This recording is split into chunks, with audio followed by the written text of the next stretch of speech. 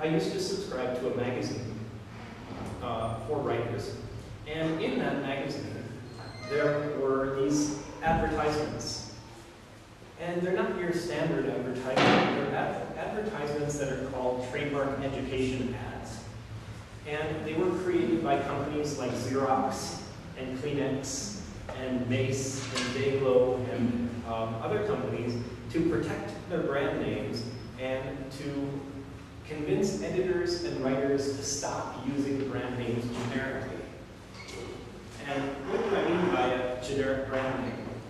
Okay? Um, I've noticed in Romania, uh, traveling around Romania the past week, I've noticed that, um, do we have some talk?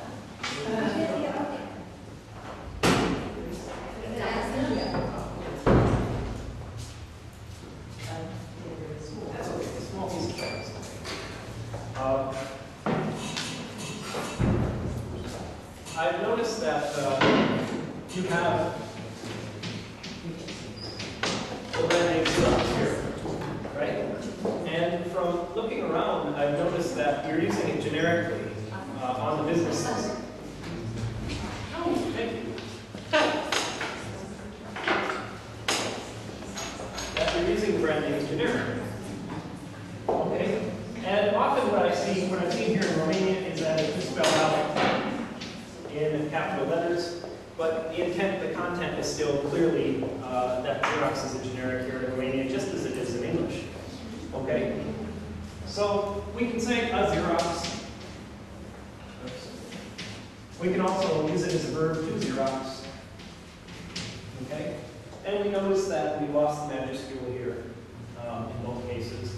And I'm going to explain how this happens, uh, the process where we get a uh, brand name. And what we're talking about is the semantic broadening in brand names from a name that's specific in reference to representative of the entire semantic class to which it belongs. Uh, so it's a semantic broadening issue. And uh, there are a couple things that we need to know about brand names before we begin. Uh, can anyone tell me how brand names are different from other parts of language that we might study in linguistics? What makes brand names unique? The fact that they are coined. Okay, well, well, they're, they're created forms, certainly. That's one of the issues. Uh, any other ones? Any other ideas? Uh, sometimes I think that they are based on uh, sound. Okay, they can be. They can be, certainly. Um, and this is one of the, the interesting things about brand names is that they tend to violate many of the rules that we have in language. They violate orthographic rules. Look at iPad and iPod, how they're spelled. Okay, we violate those rules. We violate spelling, uh, other kinds of spelling rules, and we do lots of interesting things with them. And it's all for the purpose of getting the attention of, of the audience and selling the product. and selling the product. But there's something else. Brand names contain a proprietary status, so they're legal entities that receive a degree of protection under the law. And if you want to do international business, if you want your product to be marketed internationally, you're going to have to follow the international rules. And that means what we're dealing with is a set formula for uh, how brand name is constructed. And is this the right for what you have? Yes.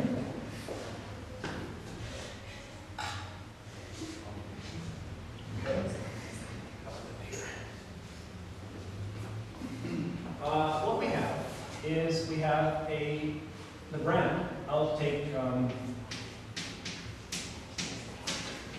Kleenex, for example. We all know what Kleenex is, right? Yes. You know the company that makes Kleenex?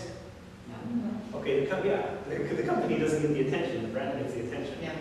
Uh, the company behind Kleenex is a company called Kimberly Clark. That's the company behind it. But Kleenex is the brand.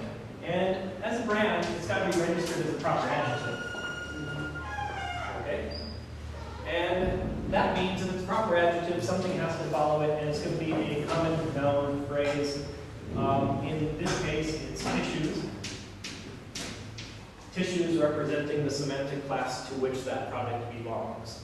And this semantic class is not finite, okay? It's not limited, uh, because we have to be able to account for technological advances, innovations in uh, everything that we see around us. So there are always, every day, there are, there are new semantic classes being registered. Okay, and so this gives us a common noun. We'll put it as a CM here. Uh, and I've been traveling all over the world, and every country I've run into so far has run a similar pattern to this. Uh, I was in Laos, and I was taking pictures of the billboards to analyze the names and how they're constructed, looking at Uh, but we have this protection, and this allows for a degree of protection, and it standardizes everything so that uh, the companies producing the brands can try to protect their brand name. But the first problem we run into is where does the money go? When you advertise a brand name, where does the money go? It, does it go into this or does it go into this? It goes into this, right? So when you look at your products and you take a look at, at your products, I haven't looked at the bottle of water yet, but you'll see it's Dorna and then there's the registered trademark. And at some point down here it says, um, Apero Minerala Naturala. Sorry about my Romanian, but carbonated natural mineral water. Okay, which would probably be the class that it probably belongs to. Okay? Uh, my first sentence in Romanian yesterday was at the Cluj Napoca train station when I bought a bottle of mineral water from the kiosk. And I said it to her in, in Romanian and she kind of laughed at me and brought me a little bottle and I said, oh, big bottle, big bottle. Um, so, uh, we see this again and again and again, and this, looking at these, I started to wonder about the trademark education campaigns. Um, and in those trademark education ads that I talked about a few minutes ago, they were calling it misuse. Use of the generic form as misuse. And I have a, a serious problem with that because I'm basically a descriptivist. And I believe in the descriptive side of language, the side that says, well, yes, we have rules to the language, but I'm much more interested in how people are actually using the language. So how could it be misused if they're, what they're doing is not misusing the language, they're reappropriating the language. They're finding an additional use for the language. And then, of course, you bring up the old concepts of grammaticality and acceptability. Is it grammatical the way that they're using it? Is it grammatical to use Xerox as a verb? Yeah. Represents an action. Is it acceptable to a native speaker to be able to use it that way? Certainly. So how can this be misused? And I was walking across campus at Cambridge one day, uh, where I was, uh, where I had started my doctorate before eventually leaving to go to Hawaii to complete it. And it started coming to me in my head. I started running the changes, started thinking about these changes in my head, and I thought, I think I can explain this. I think I can explain these changes. And to this point in linguistics, at that point, which was in the late 90s, no one had attempted to explain what was going on here. What the literature had said, and the literature was very sparse. There were very few things written about generic brand names, and what was written were usually just a few sentences. These are random changes. Um, we don't know what's going on here. They're not really that interesting in linguistics because they're probably more towards marketing or some other aspect. And I decided I was going to set out to figure this problem out. And I had a specific problem in mind that I wanted to also address, which was something I knew from language change, which was an issue of actuation. Have you heard about the actuation problem? I can only imagine. Okay, the actuation problem is how does the change, how does, how do changes begin? Okay, and the problem that we have in language, um, if you look at um, language history, is that with English words, for example, we can look at the Oxford English Dictionary for the earliest citing, the earliest known reference to that usage of that word. But that doesn't mean that's actually when the word came into the language. That's just the earliest visible form that we have of language. But what brand names allow us to do is we, they allow us to see a visual, vi, uh, visible actuation date because we have the date of registration. So if we have the date of registration, which is quite unique in language, and we know when they started advertising and marketing this product, then we can see where the changes began. And we might be able to at least give some clues to how the actuation problem began. And the actuation problem in linguistics goes back to about 1968. Um, I have the citation uh, somewhere here. that I can, uh, yeah, here it is. It's from Weinreich, Labov, and Herzog, 1968. And it says, the overall process of linguistic change may involve stimuli and constraints both from society and from the structure of language. The difficulty of the actuation riddle is evident from the number of factors which influence change. It is likely that all explanations to be advanced in the near future will be after the fact. Okay? And I found that quite interesting because if we have the actuation dates and brand names, we may be able to see A, when they came into language, and two, knowing what we have in the rest of the theory, which I'm going to talk about, we may have the ability to predict genericization. And that would be a fairly unique thing in, in language, to be able to predict the change before the change happens.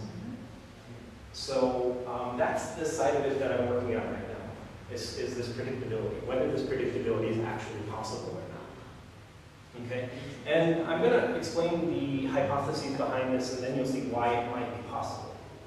Um, using Google as a good as the example for this. Okay, uh, Google came out after I first started working on this theory, and it provides a unique um, perspective. But so, getting back to the legal status, we have the brand names uh, as proper adjectives followed by common nouns, so that gives us a starting point to work with. Okay.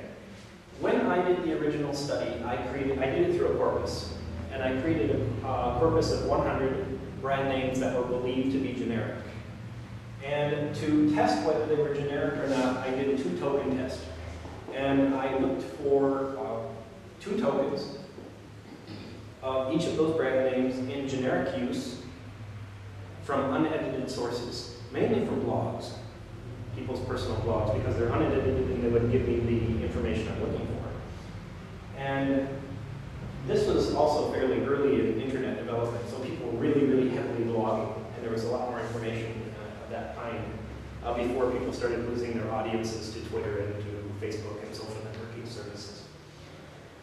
Um, so once I had the uh, corpus completed, the 100 brand names uh, with two tokens each, um, I began to start putting together uh, what was going on.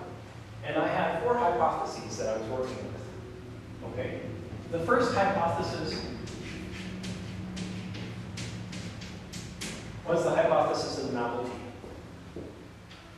And it stated that for a brand name to become generic, it had to represent something that was novel or innovative, something that didn't exist previously. Okay? And we see this again and again and again. Um, with Xerox, does anyone know what was prior to Xerox? What did we use 30, 30, 40 years ago? I wasn't machine, but I found. I It, it made these blue, these blueprints. Yes. It was called a mimeograph, a mimeograph machine. And even at that time, mimeograph was a generic. Okay. Um, so Xerox came along, and as the first real photocopier service, it was an innovation that created this form. And of course, if you're the earliest form out there, people are only going to know you by uh, your service. So of course, we had Xerox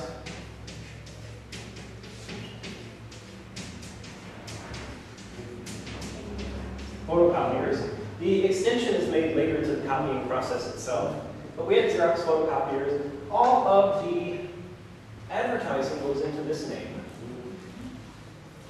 This becomes functionally zero. Because it doesn't really exist. It exists on paper, but it's, it's even if you look at the marketing materials, you'll see Xerox in 24 point font, and you'll see photocopier in 8. Okay, the attention is going to there, so this becomes a functional zero. This makes the jump almost instantaneously. Okay, as soon as the product starts gaining some marketing success, right? And so Xerox becomes here, and as I'll explain later, you'll get majuscule drop and you get other things happening. Okay? So if it represents something new, something innovative, and of course it's successful, becoming the primary uh, form in this category, it'll make that jump.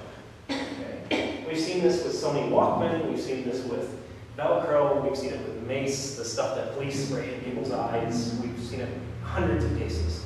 There's lots and lots? That was a fairly easy one to figure out. Okay, it didn't take much effort uh, to figure that out.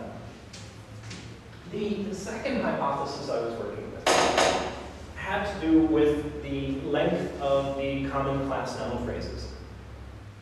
And this is something that even the industry didn't realize at the time, and the industry, I hope, has started addressing the problem. Because um, let's look at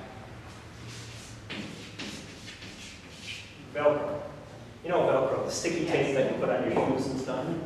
Okay. Uh, when Velcro was developed, do any of you, can, can any of you guess what the noun phrase that it was registered with is? The semantic class? Velvet, something. No, it came from French, the word crochet. So it's a blended term of Okay, kind of word? sure, but what, what would this be? A noun, I would say. No, that's a good no, he said, Oh, yeah, yeah. because Velcro, ah, Yes. What, what, what do you think that they would register as the common class noun phrase? Velcro, Something so silly, I don't think you could imagine how silly it is. uh.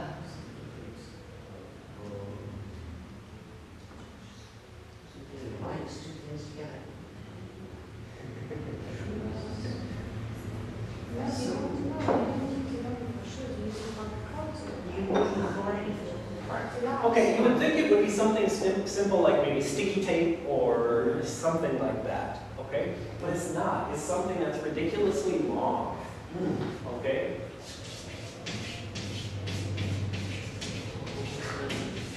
Oh. Oh, faucet. Ah. Okay, loom fasteners. Now, when I discovered this, it just made me laugh. Cool.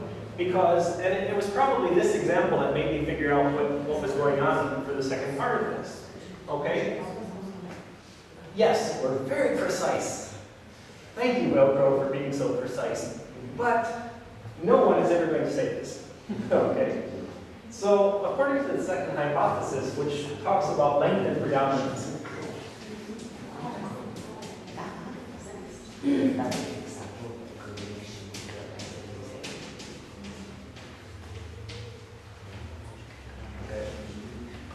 and length and predominance, according to this, says that if your semantic class is longer, more difficult to articulate than your brand name, and your brand name is in predominant position, you're going to get a generic. Okay, and that's exactly what happened here. Velcro is simple. It's one of the most beautiful brand names I can find. It's easy to say. Um, Velcro. And it's very short. It's a simple two-syllable, uh, single form. So, of course, the same thing happens. You get this dropping off in Velcro, assuming the position. Okay? And at the, I looked at it at three levels. I looked at it at the word level, at the syllable level, and at the morpheme level uh, for all 100 brand names in the corpus. And at the uh, word level, uh, the brand was 1.4 words in the brand. Uh, the class, it was 2.0. At the syllable level, it was 2.6 syllables. to 4.4 syllables. And at the morpheme level, it was 2.1 to 3.2. So at every level, the brand names that had become generic were all shorter and in most cases easier to articulate than the class noun phrase that they belong to. Okay, are we good so far? Okay, we having fun yet? Okay, um, I'm, I'm afraid you're gonna learn more about brand names today than you probably ever wanted to know about brand names. You'll probably never look at them the same way again. When you're sitting at the, at, at breakfast in the morning, you'll be looking at the brand names, thinking about them. Also?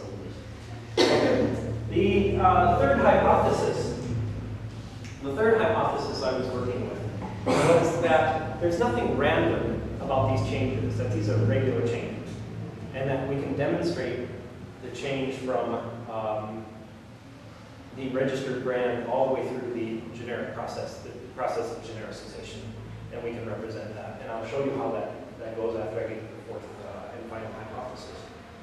Um, when I got to the last problem, the last problem took me a little while to figure out what, what is it that um, allows some brand names to become generic, but not others. Okay? There was something I was missing. And I can remember sitting in class, in a class completely unrelated. Um, it was Japanese anthropology. Um, and I was sitting there and I was working with the theory and working with brand names and playing with them trying to figure out what was going on. What, what am I missing? There was something I was missing. And what I was missing was what I ended up calling the single association hypothesis. For a brand name to become generic, it has to represent a single item. It can't represent across classes, okay? So what we get in all of these cases, and looking at the brand names, and when it hits you, it's like, whoa, there it is. Okay? Xerox, Velcro, Mace, they all represent a single, single item. Okay? But you take, for example, fashion house brands. Um, take Chanel, take um, Kenzo, take any of the brands, and they represent shoes and accessories and clothing, and they do all these different lines. There's nothing, you can't attach a single attachment, a single, um, yeah, you can't make that, that semantic connection there. That would give us that one meaning that would allow it to become generic. And that was the single association hypothesis uh, for that. And that was the missing part of the puzzle. And then, uh, from that step,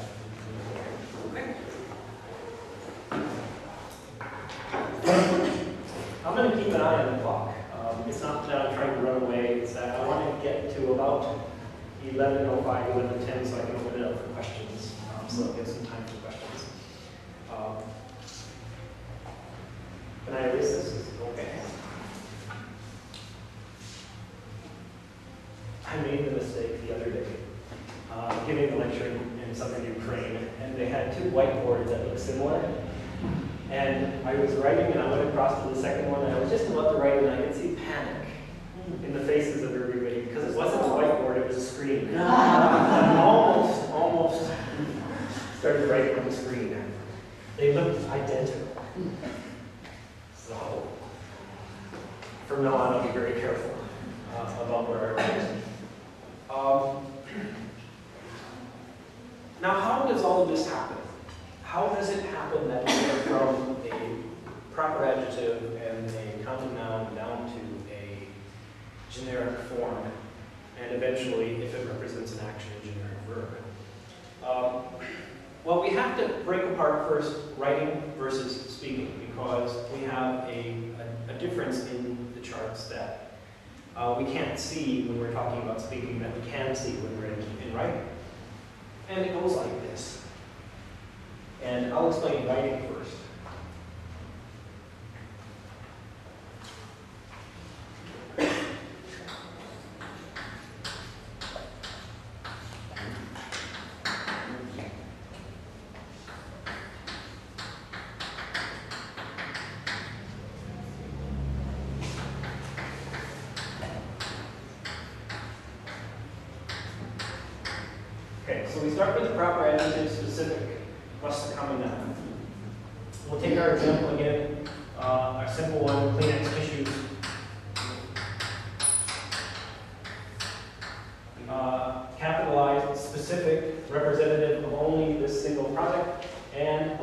For the company Kimberly Clark.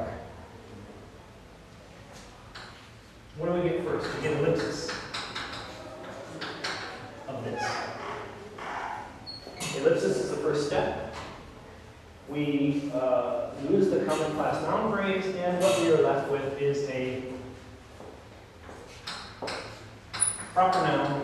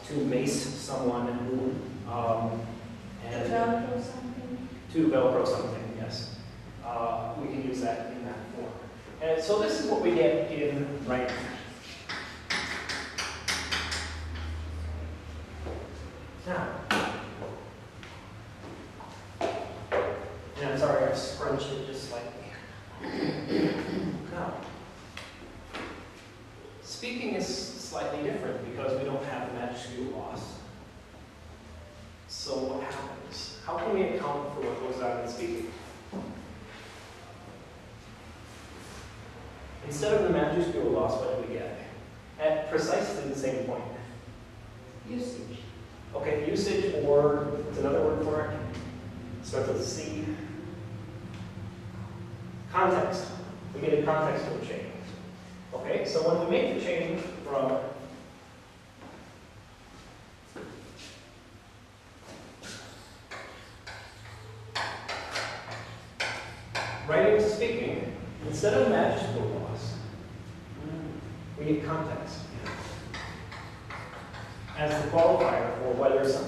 almost generic or not. Example from a, a generic form like Coke.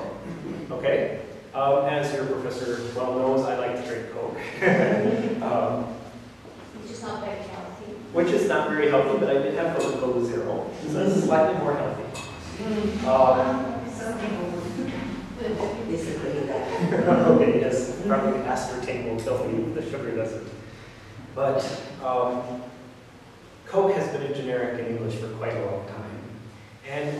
you'll see at a restaurant in America will be, um, I'll sit down and uh, I'll have a hamburger and a Coke. And the waitress will say, is Pepsi okay? Yeah, of course.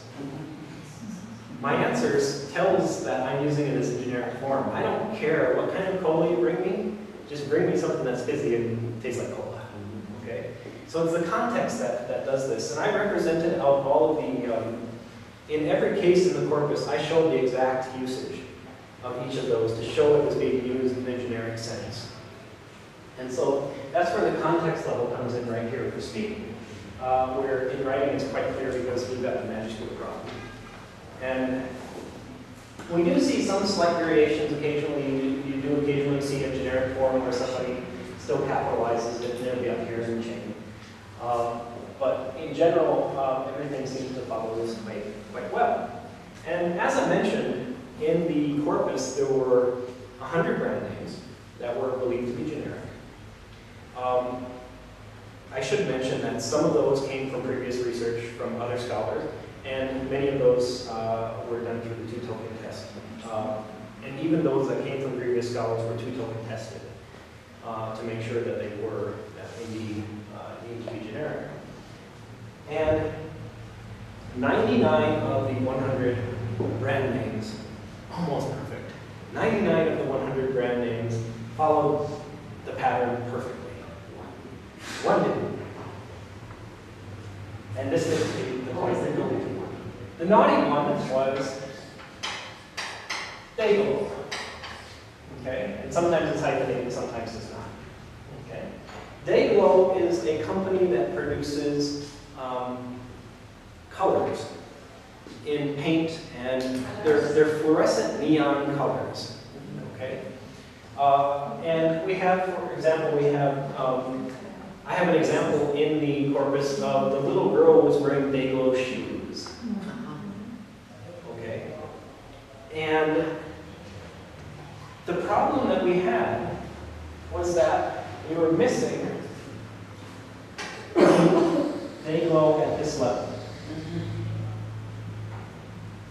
In speech. in both speech and writing.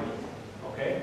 We do not have a case, at least I could not find a case of day glow being used as, for example, um, there is a day glow over the city or something like that. Okay, being used as a common noun, demajusculized and down here. And what you said was very clever.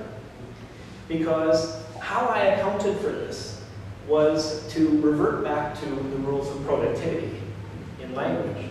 And the rules of productivity, we know that in noun classes, that it's open-ended and we can continue being productive and adding new forms, right? Well, changing the rule around slightly, just because a form doesn't exist in the language at this point, because the speakers have not gotten around to it yet, doesn't mean that it can't exist. This is the whole concept of acceptability.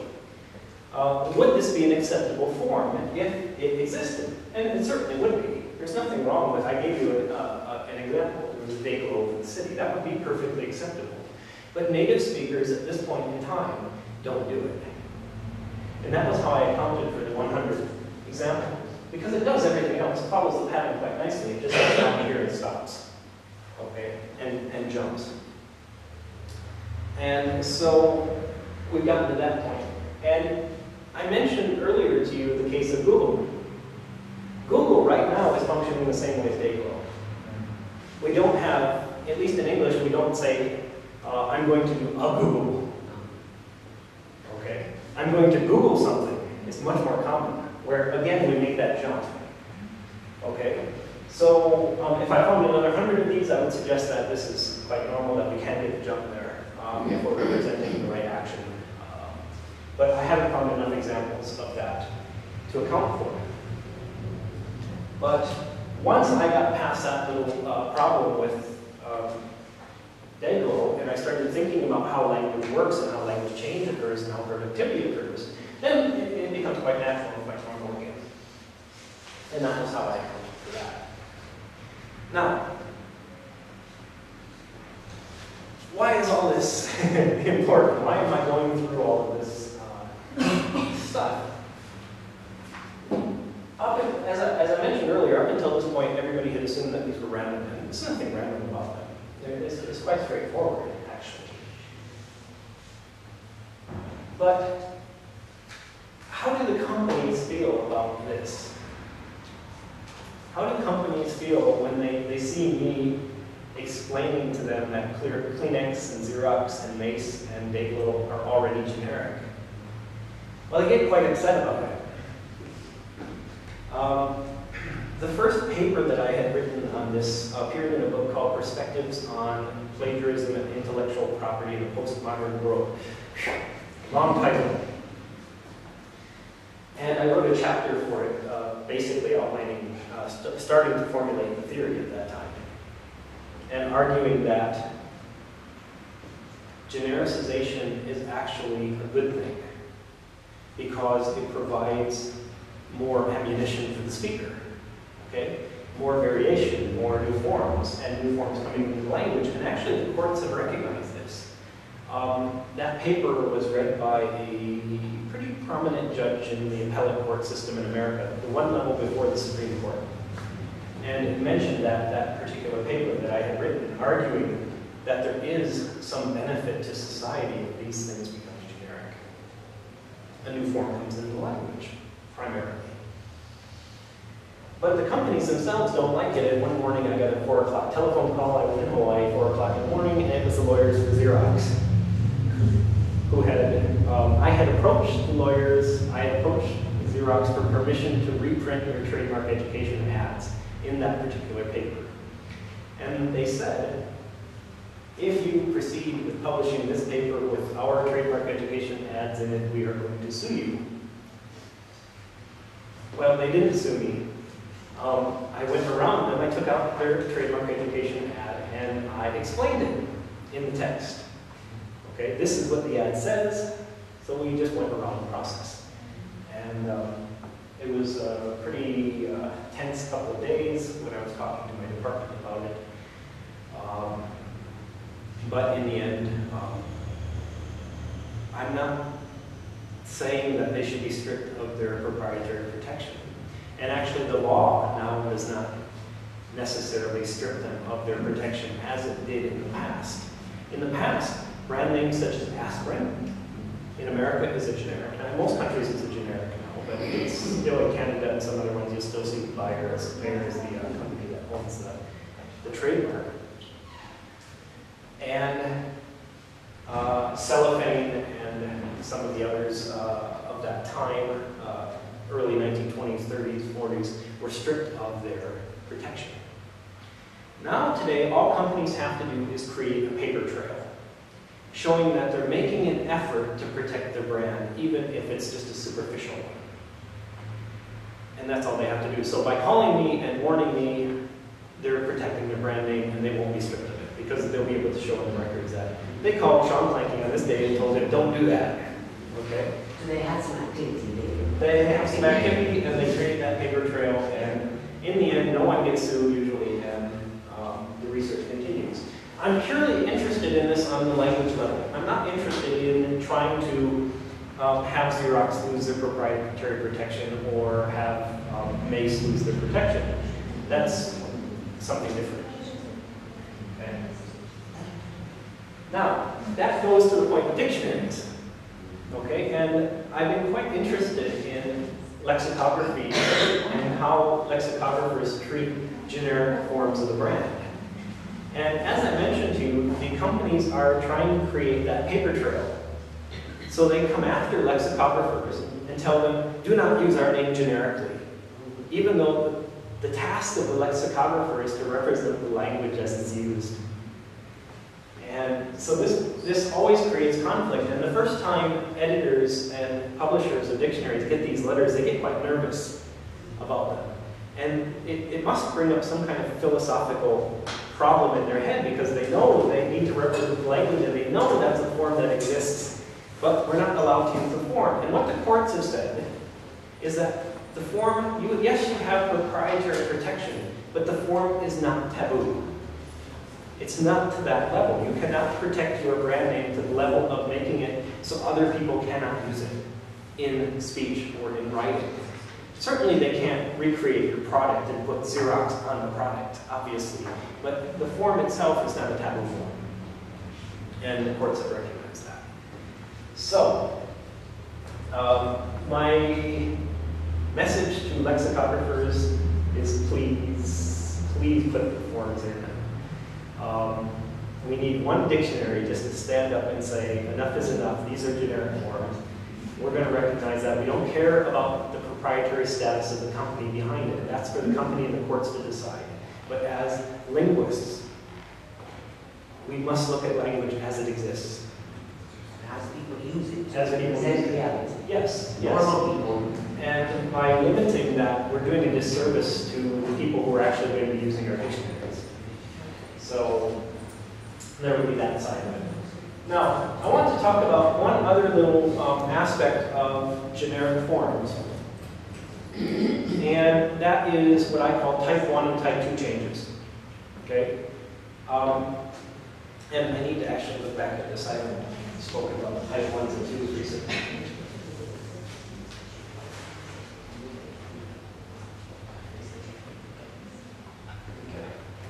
Um, the type 1 changes of the generics as I have explained to you here. Okay? But there's a type 2 change. And this uh, goes a little bit beyond genericization.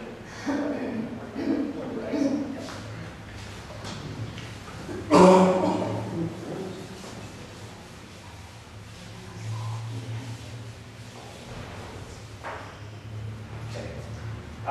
The type 1 changes, as we saw, are like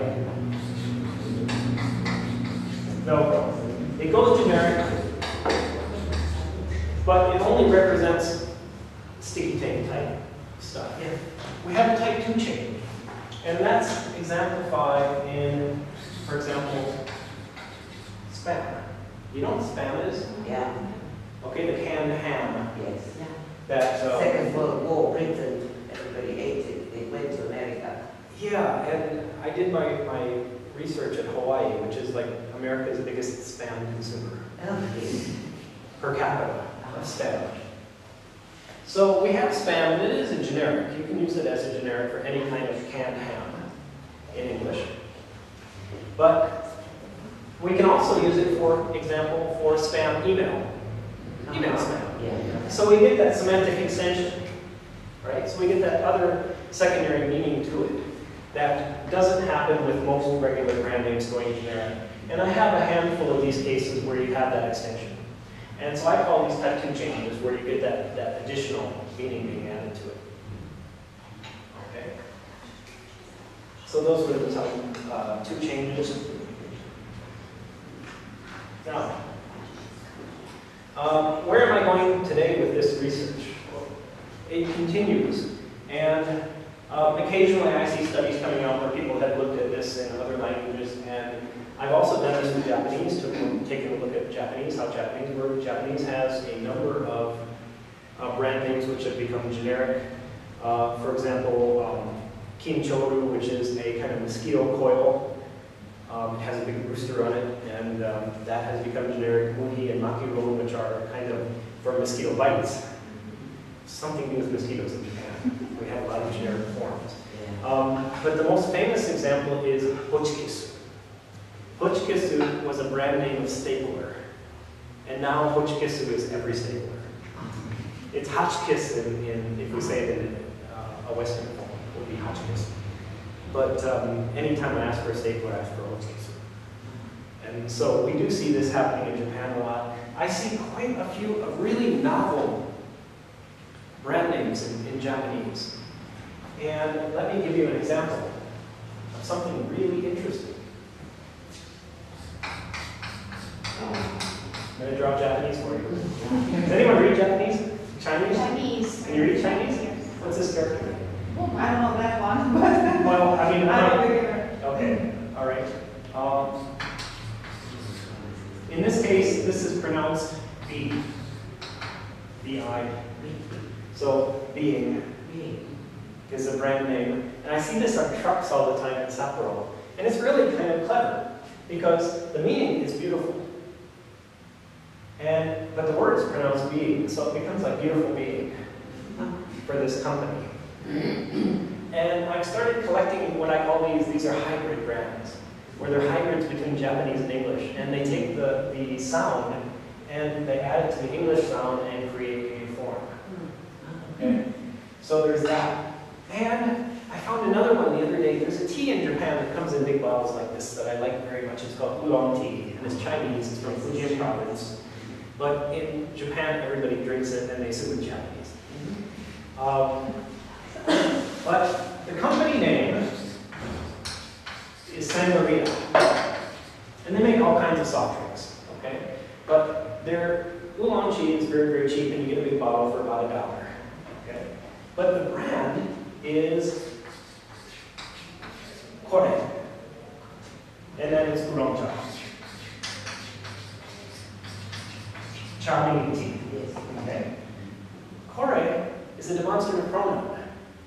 It means this. So it's like saying Sangaria, this registered tea. I find that really unusual and really quite interesting because I've never seen anyone register something on a closed class before. And out of something that, um, how can you register this? You're going to have people saying, you know, this Walkman, this brand Walkman, and Sangaria is going to sue them, saying you can't say this Walkman because we have registered this. It almost made me, almost tempted me to register the. and say, for every use of the, you must pay me one yen. Oh. Just one, just one yen. But I, I, I've done uh, about all I can do right now in genericization. I have to wait and see if time will, will decide whether I'm absolutely correct or not. But getting into these forms, no one has looked at these forms so far. Uh, there's another one. Um, I don't think I can remember the character right now for it. But it's, no, and I think it's something like this. But this is pronounced uh, guri. This is down, of course, but we, in Japanese, we pronounce it as don. And then this is the character for kuri, guri. And it's pronounced donguri. Donguri means acorn. Okay, so it's another hybrid form where you have the English here, followed by the Japanese. You put the two sounds together and it creates an additional meaning, additional word. Donguri. It's the name of a cafe that's on my way to work. Uh, that has just sprung up in the mountains as I'm going through the mountains to the other side to Otaru. And I want to quickly erase that Chinese character because I can't remember how to draw it properly. But uh, people watching the video will be putting comments, you messed up the character. Um, it's not a common character, so. But, but I'm collecting these forms right now. And I just have a few minutes left before I open up for questions. I want to give you one more uh, very curious example because I've been very interested in name formation and what goes into the name formation. And one example I discovered while riding the Tokyo subway. And it's a very common brand name, but it explains, and it, it can be explained by the, um, what did I call it? The law of unintended consequences. Okay? You know the law of unintended consequences? Despite your best efforts to do something, you can't account for everything that might happen. Okay? So, this one I do have an example for.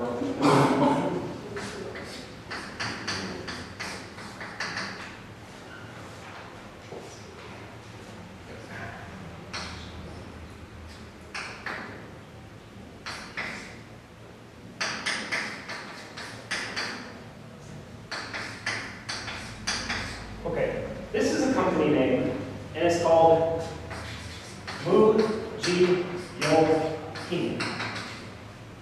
Okay, and literally what this means is un. Okay, this is the prefix un. It's a neg- it's a negator, a negative. It can mean un or no or not. This is printed, or in this case, branded. So unbranded. This means good. This is yo, and this is hin, products. So unbranded good products.